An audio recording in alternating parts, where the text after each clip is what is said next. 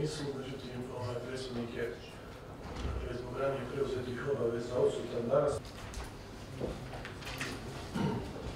Zahvaljujem, pozdravljam predsjedavajući, pozdravljam iskuške. Budžet možemo kazati da je da je razvojni, da je i socijalno osjetljiv i da po nekom našem mišljenju e, može se kazati da će biti E, dobar odgovor za e, ovu 23. godinu, odnosno da će biti u nekom smislu u službi građana i u službi razvoja i svih potreba ovog kantona.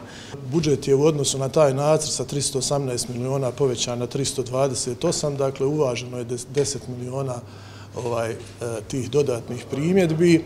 Ja mislim da sada imamo jedan zaista potpuno na vladi usaglašen dokument, jednoglasno dakle donesen, I evo, ovo je najveći iznos koji je ikad dakle, dostavljen u skupštinsku proceduru, 328 miliona. Ja mislim da smo zaista ovaj, uvažili zahtjeve naših resornih ministarstava, e, direktora, kažem, uprava, agencija, dakle, svi oni koji su naši budžetski korisnici, dakle, u najvećoj mogućoj mjeri.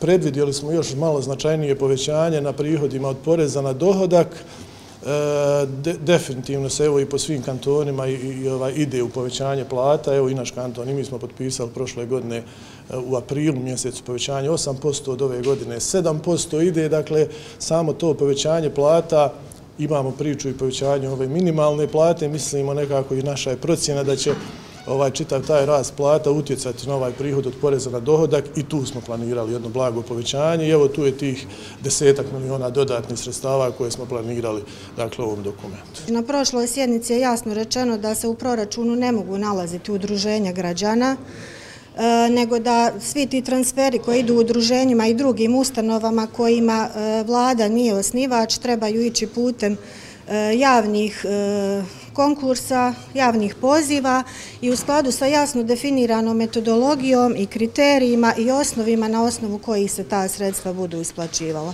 U tom kontekstu eh, u ovom proračunu nije ispoštovano ono što je Ured za reviziju institucija federacije napisao, znači da i dalje imamo transfere raznim udruženjima i ustanovama kojima nije vlada osnivač.